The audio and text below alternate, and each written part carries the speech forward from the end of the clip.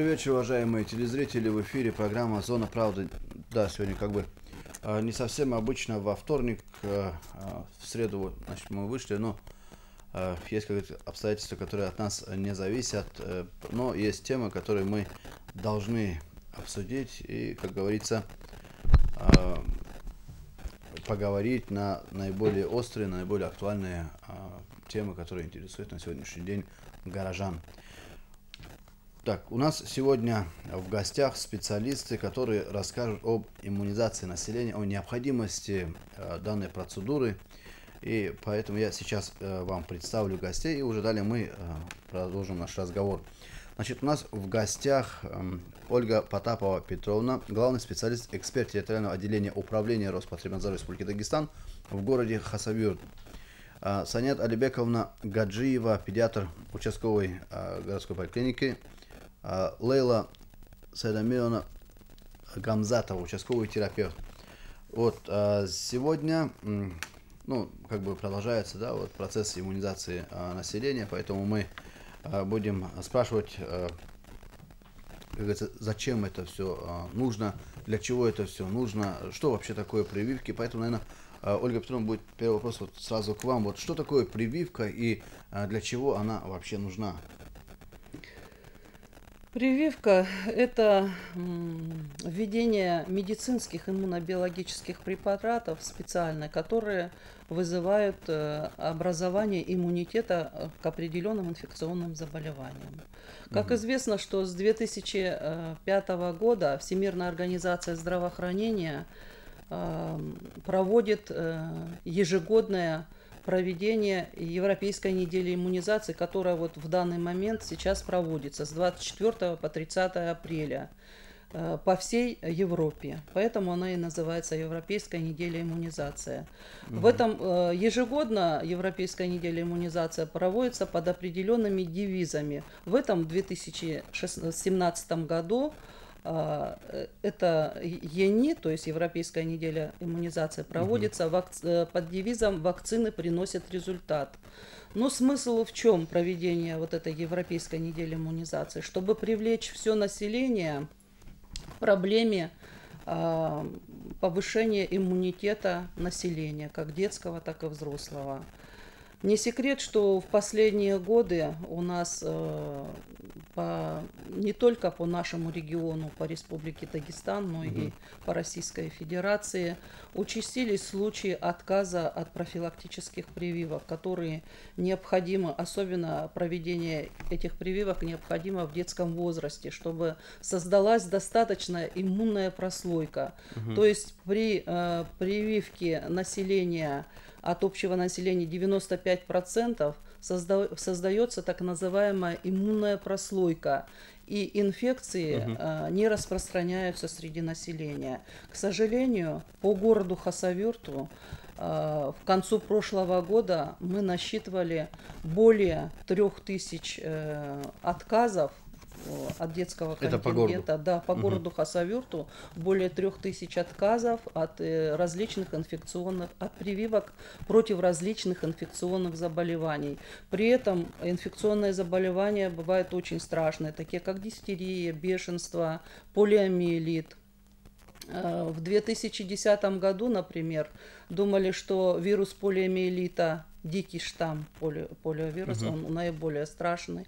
Думали, что этот, э, эта болезнь побеждена, оказалось, что нет. Э, был по субъекту э, Республики Дагестан был, были зарегистрированы случаи полиомиелита, которые, как известно, вызывают инвалидность.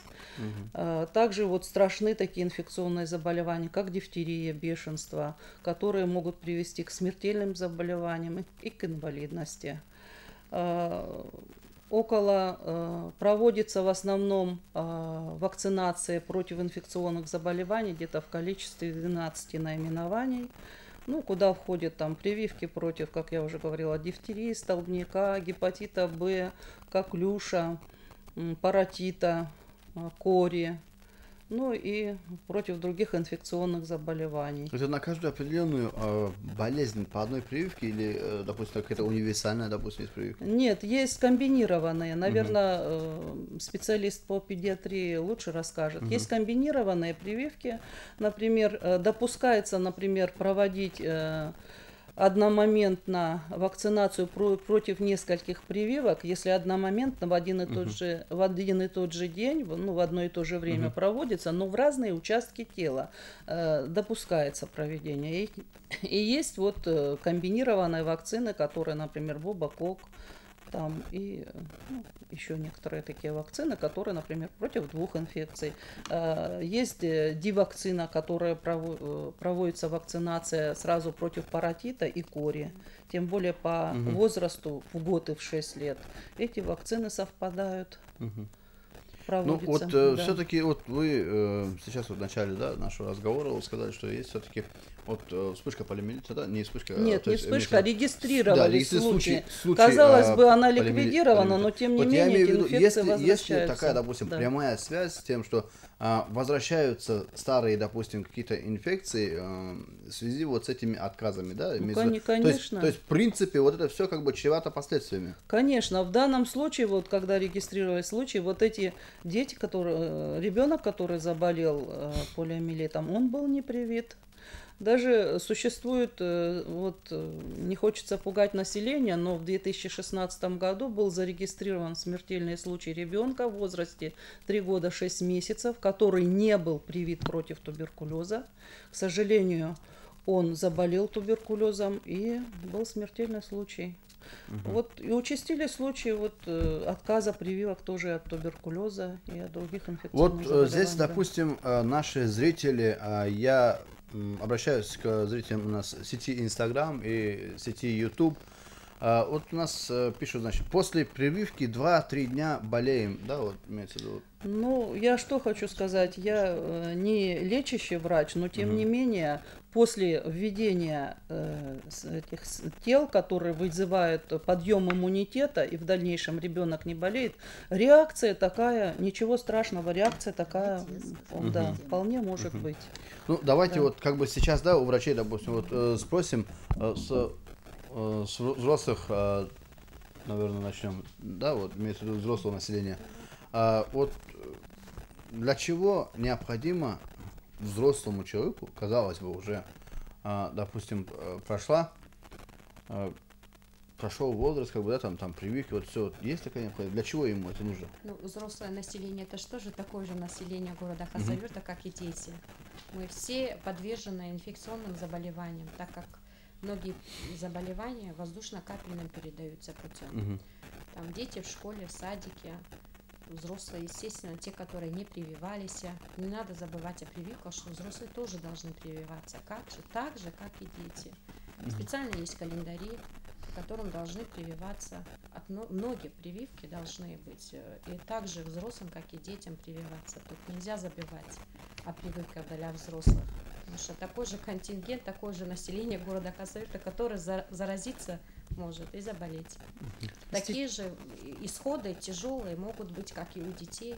Просто да, немножко дополнить, э, Да. с течением времени иммунитет ослабевает, и по некоторым инфекциям необходимо возобновление То и есть, э, поддержание у де- у иммунитета. У детей да. иммунитет сильнее. Нет, у детей, конечно, детский иммунитет, они и чаще прививки получают. Я имею в виду вот сейчас о взрослом населении. Например, прививки против дифтерии и столбняка рекомендуются. Последние прививки заканчиваются в 18 лет. После 18 лет, через каждые 10 лет, по национальному календарю профилактических прививок обязаны прививаться взрослое население против дифтерии и столбняка. Через каждые 10 лет, после 18 лет. До 93 года сего- на сегодняшний день план составляется по прививке по дифтерии. Мгм. Вот э, что касается э, детей э, с Альбековым, да, вот говорят, здесь вот у нас э, был вопрос такой, что 2-3 дня болеем после прививки, да, вот что это и с чем это связано, как вообще, как вообще проходит процедура а, прививок детей и с какого а, ну, возраста, сказать, ну, с, с какого времени нужно начинать это делать прививку? Ну, прививка прежде всего это а, профилактика для того, чтобы ребенок не заразился инфекционными заболеваниями. И прививки, прививочный материал, это, в общем-то, только коревая и коклюшный компонент, там цельноклеточные вакци- вакцину входит цел, м, господи, Ну, которые А, могут вызвать составные части реакцию, да. клетки, Да. которая должна вызвать иммунную ответную реакцию у организма. Но это получается так, будто бы ребенок столкнулся с инфекцией, но это очень ослабленные составные части. Все остальные э, прививки э, практически там нет э, даже самого представителя этой инфекции бактерии, а есть какие-то выжимки, есть Но они не, не активные, как бы, да, вот бывает. Я просто помню, что у нас э, несколько эфиров уже были э, в этом, Мгм. поэтому...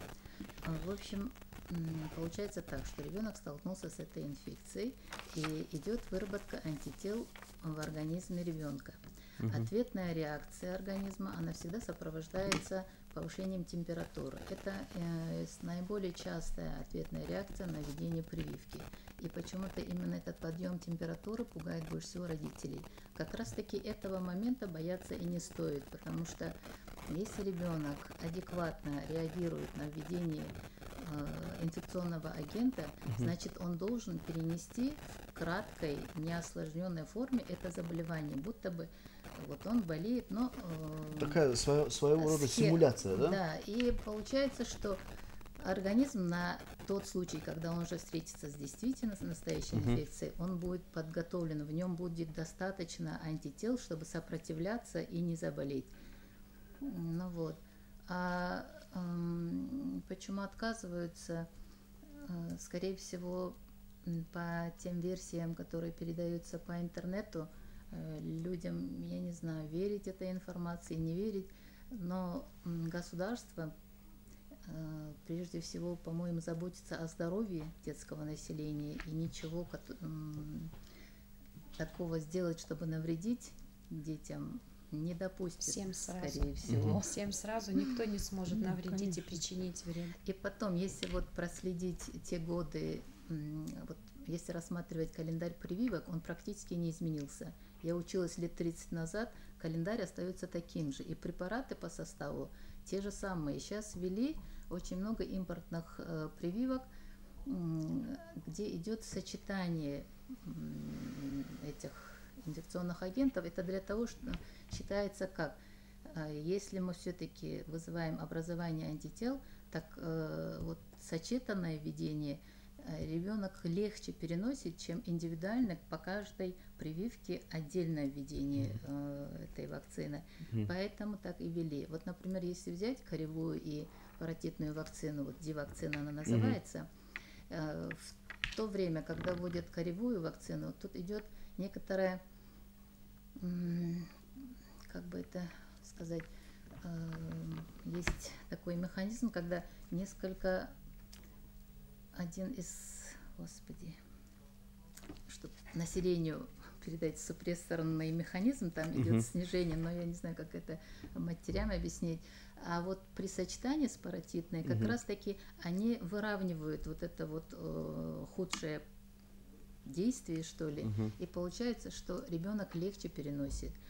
Э, В том случае, вот мама говорила, что первые три дня идет реакция. Э, Такая реакция идет в основном на введение АКДС. Э, Коклюшный компонент, он как раз таки он и дает такую высокую температуру. Например, э, коревая вакцина, она реакцию первые три дня не даст. Реакцию можно ожидать в конце седьмого дня до второй недели. И она проявляется точно так же. Вот многие знают, как проходит корь с сыпью, с температурой. И вот будто бы ребенок опять-таки прошел все эти этапы с Мгм. небольшой сыпью, с небольшим проявлением катаральных явлений, с Мгм. небольшой температуркой субфибрильной. И вот Возможно, это нужно да. ожидать к концу недели.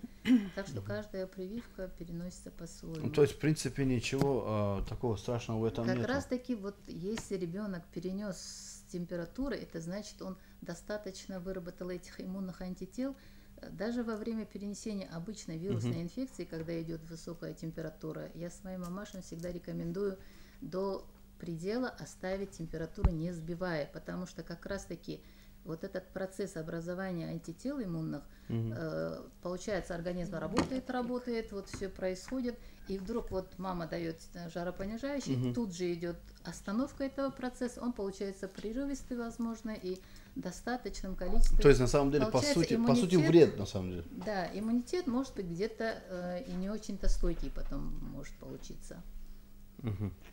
Вот э, что касалось, значит, детей, да, вот с какого возраста? Вот, А, теперь по Да, поводу возраста. Рекомендовано. Вот э, настолько в свое время эта схема была грамотно продумана, если вот рассматривать каждый вид. Например, э, краснуху, э, если мама получила в свое время прививку или же переболела, то у нее устойчивый иммунитет вырабатывается на многие годы. Поэтому вот э, корь, паротит, краснуха, они отодвинуты к году, потому что Мгм. году, естественно, иммунитет, который передан, те антитела, которые мать передала с кровью ребенку, они Мгм. могут э, уменьшаться где-то году. А вот коклюш, например, он не дает вот такого стойкого иммунитета, и через э, плацен- плаценту ребенку вот эта вот устойчивость не передается, и поэтому получается, что ребенок восприимчивый уже в первые месяцы. И вот так и составлен график для того, чтобы он не заболел. э, В первую очередь делаются вот именно э, коклюшный с фу, дифтерией и столбняком. А гепатит, он, вы сами знаете, он, переда- он может передаться даже ну, в первые часы, поэтому он, эта прививка делается даже в первые сутки. Да, первые После рождения. 24, часа- первые 24 часа вот с так момента вот все рождения. продумано м, по восприимчивости, когда это заболевание может у ребенка вызвать Мгм. Ну вот э, зрители, значит, у нас э, пишут, э, что так и ребенок, в принципе, и переносил, что лежал 2-3 дня, э, капризничал, да, вот предел, э, предел той температуры, которая, допустим, возникает у ребенка. Это всегда индивидуальная реакция ребенка. Э, Некоторые дети вообще не чувствуют. Э, Бывает у некоторых просто мозговой крик или изменение настроения, изменение поведения. Некоторые становятся э, буйными, веселыми, некоторые наоборот бывают наоборот подавленные. Некоторые отказываются от еды. Местная реакция может быть небольшая припухлость, болезненность. Ребенок может отказываться наступать на эту ножку, если это сделано в бедро. Э, вот. И, а температурная реакция до, ну, на моем примере, если лично моего сына, то температурная реакция у него была 41,5. Это на вторую прививку АКДС. И в то время делали эту прививку в ягодицу. Сейчас это не приветствуется, сейчас делается или в плечо, или в бедро, где мышечная масса тоньше и быстрее идет рассасывание вот этого инфильтрата, который получается. А в то время получались будто бы абсцесс. Вот настолько ягодица была местная гиперемия, припухлость, отечность, все. В общем-то, была достаточно страшная картина. Если бы я сама не была врачом и не видела, что все было сделано стерильно, у меня уже был страх. Мгм. Так что я понимаю реакцию матерей, но это тоже все проходимо. Самое главное, чем За- Заболеть Э, такой страшным, да, да, чем лучше. осложнение получить после этих инфекционных заболеваний, лучше перетерпеть вот эти повышения температуры и изменения настроения ребенка. Мгм. Ну, я думаю, когда уже речь идет о 40 температурах, тут уже как бы надо сбивать. Тогда, конечно, да. И э, вот э, с каждое поколение детей, возможно, харак- характерно, ну вот на данный момент, у большинства детей аллергическая нас- настороженность больше, чем раньше. Сейчас аллергических реакций очень много. И рождается ребенок уже с проявлениями атопического дерматита. У большого количества детей есть Мгм. вот эта проблема. И поэтому такого ребенка, конечно, э, без десенсибилизации, без подготовки к прививку, э, Мгм. не давая антигистаминные препараты, естественно, нельзя. Нужно маму предупредить, чтобы она этого не боялась. Мгм. И за дня привив, за три дня до намечаемого дня прививки нужно начать давать антигистаминный препарат.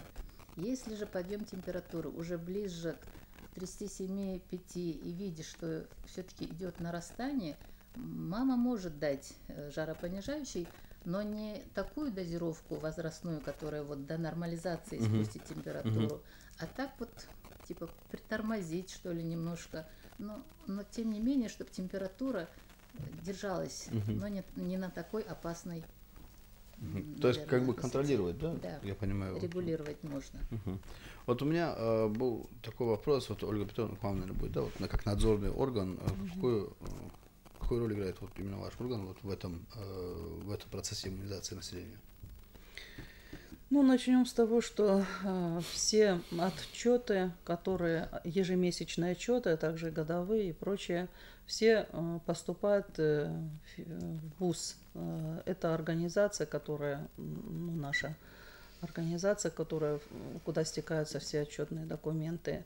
Э, Туда поступают э, сведения о проводимых прививках, которые были проведены в течение месяца.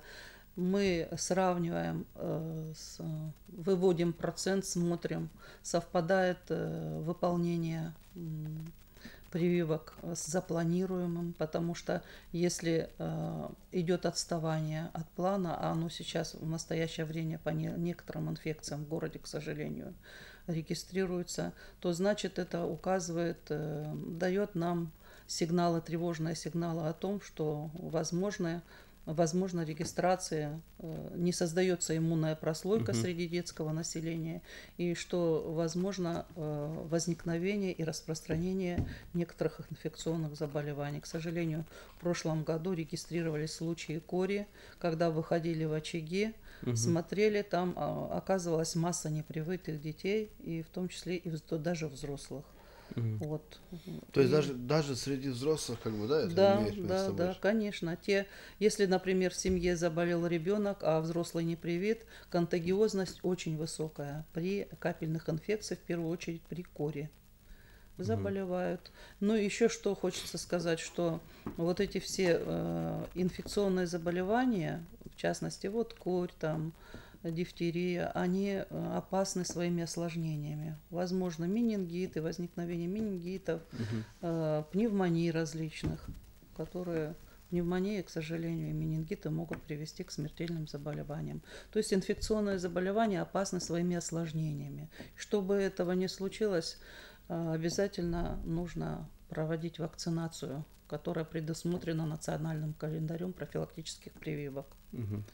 и А, утверждена и- приказом Министерства здравоохранения и социального развития Мгм. Российской Федерации. А вот это вот европейская а, неделя иммунизации, да? вот, э, Европейская неделя иммунизации проводится она еже- ежегодно с 2005 года. Мгм. И э, смысл ее в том, чтобы привлечь население э, ну, к иммунизации, к проведению иммунизации и к укрепле- в, конечном, в конечном итоге к, укрепле- к укреплению иммунитета нашего населения, как детского, так и взрослого. То есть, чтобы все и взрослые, и дети обратили внимание на необходимость проведения прививок. Мгм. Вот, Вот. э, сейчас как бы, да, нас э, смотрит молодежь, я вот к врачам, наверное, у меня вопрос, вот, а в большей степени, вот нас молодежь э, смотрит, они многие действительно черпают информацию с интернета, а и э, склонны, ну, у нас как бывает, да, у нас если что-то увидел, значит, склонны верить сразу любому первому, вот, а, первому мнению. Вот поэтому вы как э, специалист, да, вот имеется в виду, а, видите ли а, необходимость, необходимость вот э, такой, допустим, вот в школе, да, допустим, в садике, где высокая контактность, да, где, допустим, у нас, я почему говорю, допустим, даже с моральной точки зрения, если взять, допустим, э, если, допустим, твой ребенок не привит, и его, а, значит, э, запускать в группу, где а, другие дети, вот, насколько это все правильно, есть ли риск, допустим, заразить э, детей других? Вот в таком плане вопрос.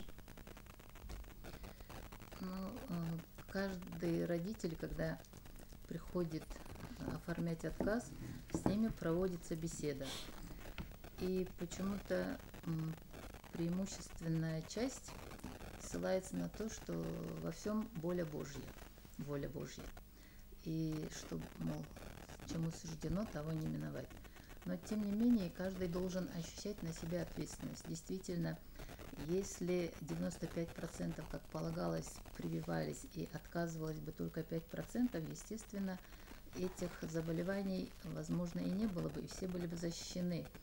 Но когда идет тенденция к росту отказников, все-таки инфекция, сами родители сейчас видят, что э, на одной улице по соседству у кого-нибудь появится какая-нибудь инфекция, угу. вот в том случае некоторые мамаши прибегают приви, э, привить своих детей. Но за этот короткий срок, если контакт тут возможен в ближайший месяц, естественно, иммунитет выработаться не успеет. И таким образом они ребенка не защитят. Как э, в школе, в коллективе, естественно,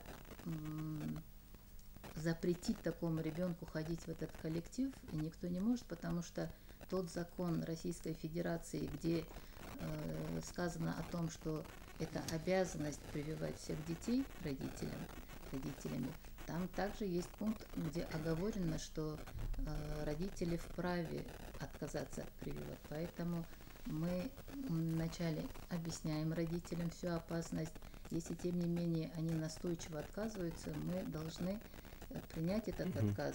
Но единственное, что хочется сказать, допустим, они могут отказаться от каких-то прививок. Но вот э, наряду с этими прививками родители отказываются также и от пробы манту, которая никоим образом не является прививкой. Здесь не идет введение какого-то вещества для образования иммунного ответа. Угу. Это просто проверка, заразился ли ребенок в течение Э, проба МАНТУ делается в первый раз ребенку в год. Угу. И ежегодно, вот в месяц рождения ребенка, его нужно проводить для того, чтобы выяснить за этот пройденный год, была ли встреча этого ребенка с туберкулезным больным, заболел ли он. Вот это и называется проба МАНТУ.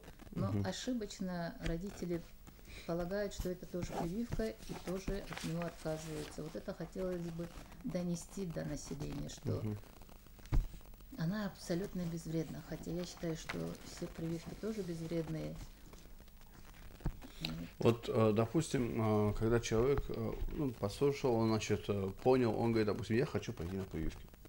Вот что, что делать горожанину, куда ему обращаться, что у него должно быть при себе?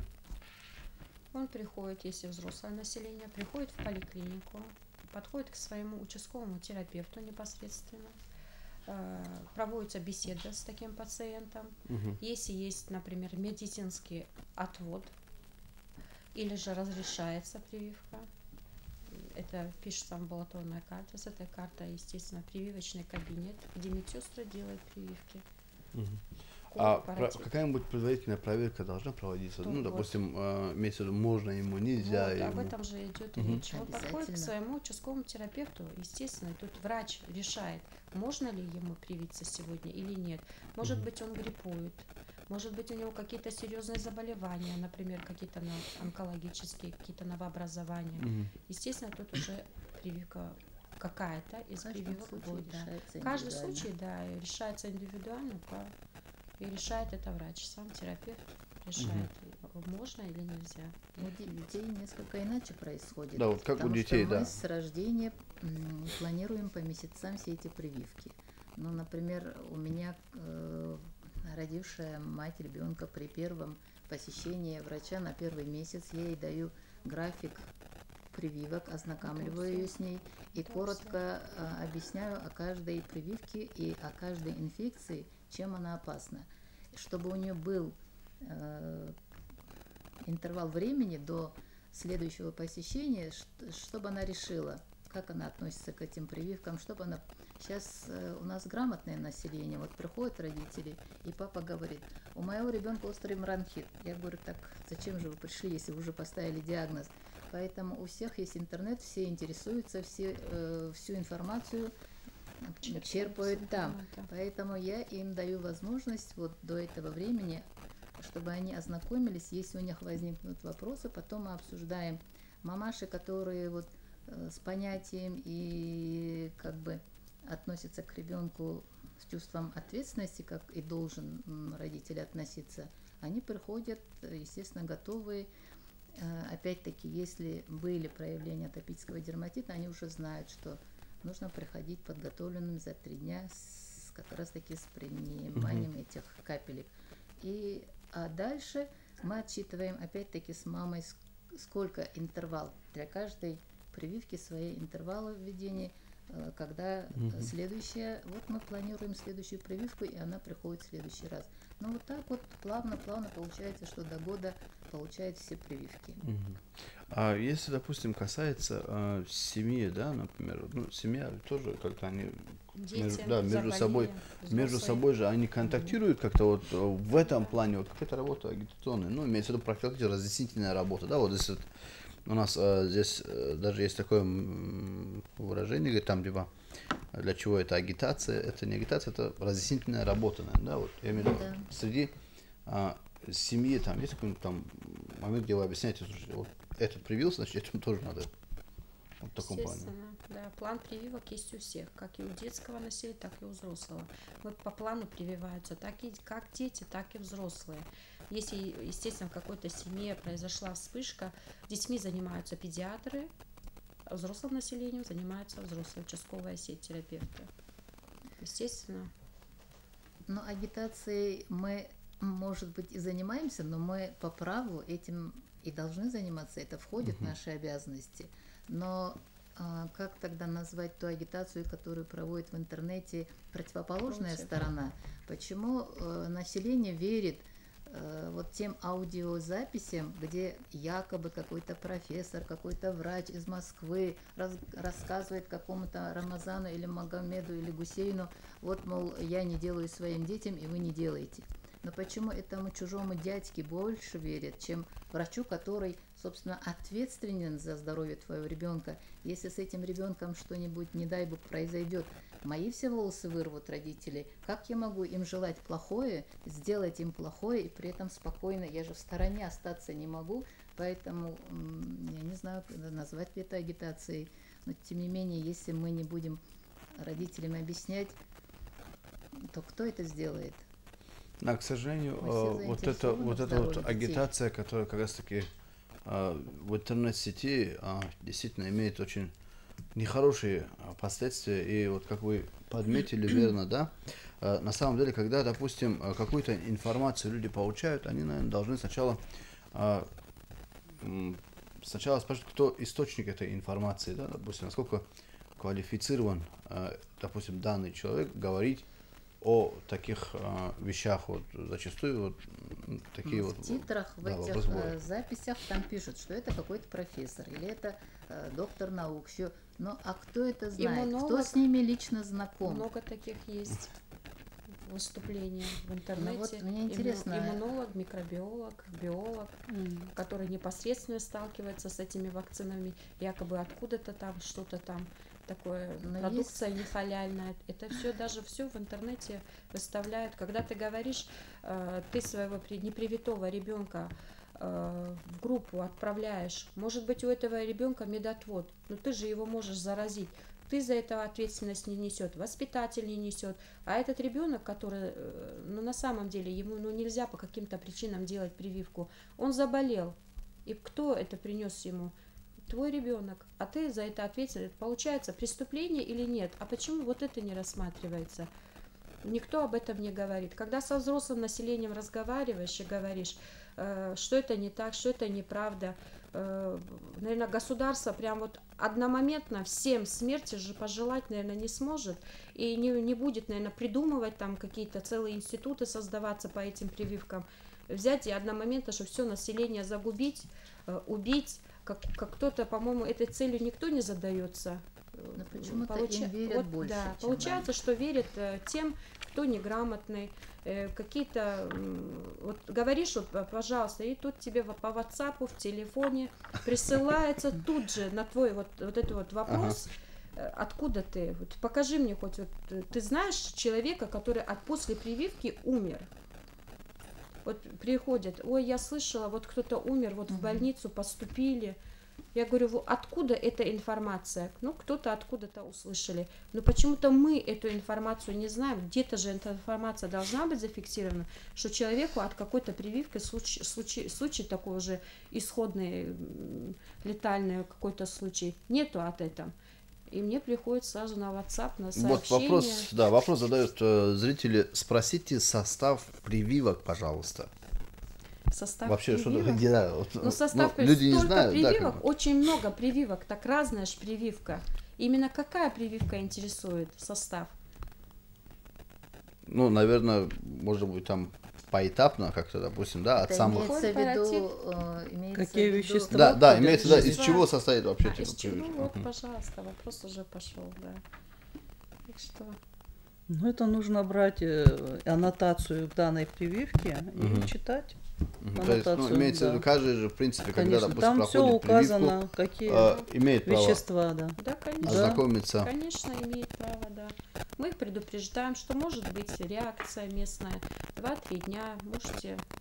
Мы наблюдаем за теми привитыми. Мы их так привили, бросили. Такого нет. Мы наблюдаем за этим пациентом, которого Вот, привили. да, кстати, вот интересный момент, да, действительно, вот э, сколько, допустим, времени а, должно пройти, вот человек, допустим, а, получил прививку, сколько должно пройти времени, чтобы его, как говорится, уже перестали наблюдать, он а, уже приз- признан, допустим, прошедшим прививку, вот такой момент. Полчаса они наблюдаются недалеко от процедурного кабинета, Мгм. потому что первая реакция э, может проявиться именно за полчаса. Если нет этой немедленной реакции, то ребенок уходит домой. На второй день или посещается, или сейчас-то у всех телефоны, Мгм. или звони- Мгм. звонит медсестра э, матери и спрашивает, как прошла ночь, как ребенок перенес, было ли э, отмечено повышение температуры или какая-нибудь другая реакция.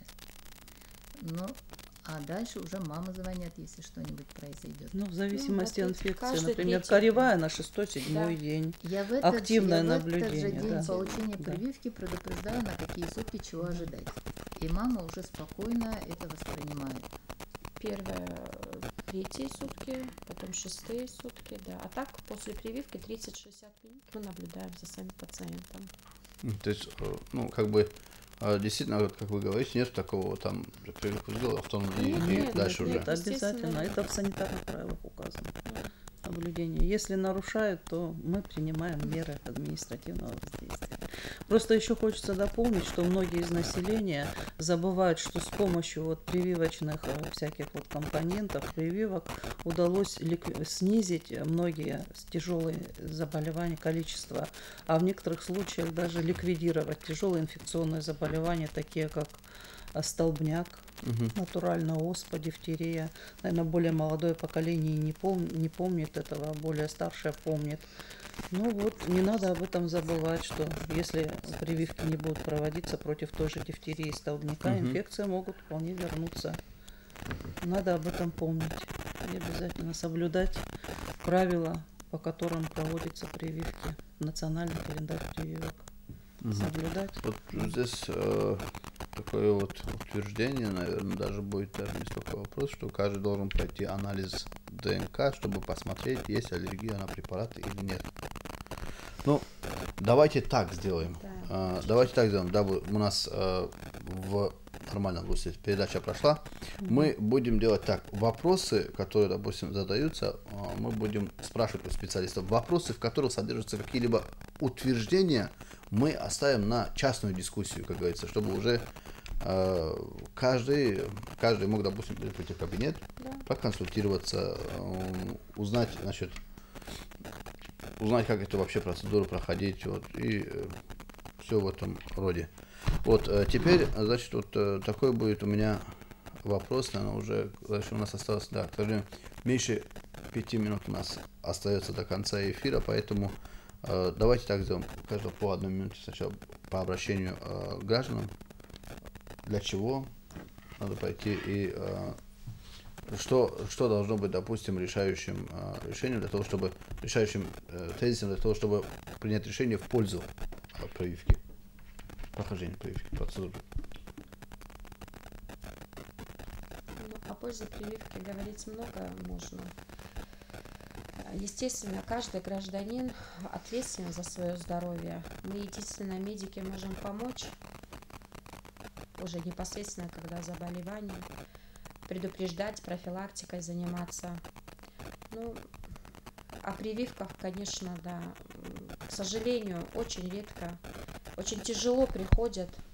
Хотелось бы граждан просто привлечь внимание, что на сегодняшний день в нашем городе очень много тех таких заболеваний, которые ну, нужно знать людям. Ну, прочитайте уж лучше в интернете что-то полезное. Что такое самокорь, что такое паратит, какие могут быть последствия. Узнайте об этом, мне так кажется, хотелось бы вот это не те вот привили и что-то произошло, а узнайте само заболевание, что это такое, как оно протекает и какие последствия, какие осложнения могут быть. У всех в доме есть маленькие дети.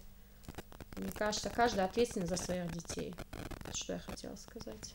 Ну, наш, наш, раз уж э, тему детей затронули, наверное, тоже вам слово передадим. Не знаю, что можно успеть на минуту сказать. Сказать хотелось так много.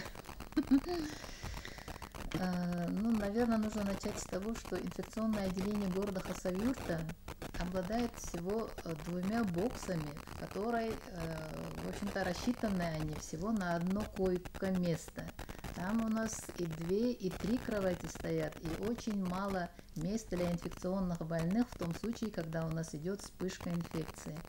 А каждый родитель, когда у ребенка повышается температура, который паникует, а когда увидит осложненные формы э, кори и даже обычные ветрянки, они все стремятся попасть в эту больницу.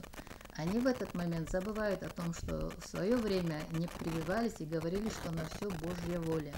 В этот момент, когда ребенок страдает, поздно уже э, как бы вспоминать но, по-моему, нужно э, Божья воля тоже может быть как раз таки в том, что мы вам даны для того, чтобы его руками, мы же, наверное, помогаем вашим детям, прививая, поэтому не доводя до заболевания, постарайтесь вовремя приводить детей на прививки, чтобы они не, не мучились в тот момент, когда болеют и не искали приюта в детской больнице.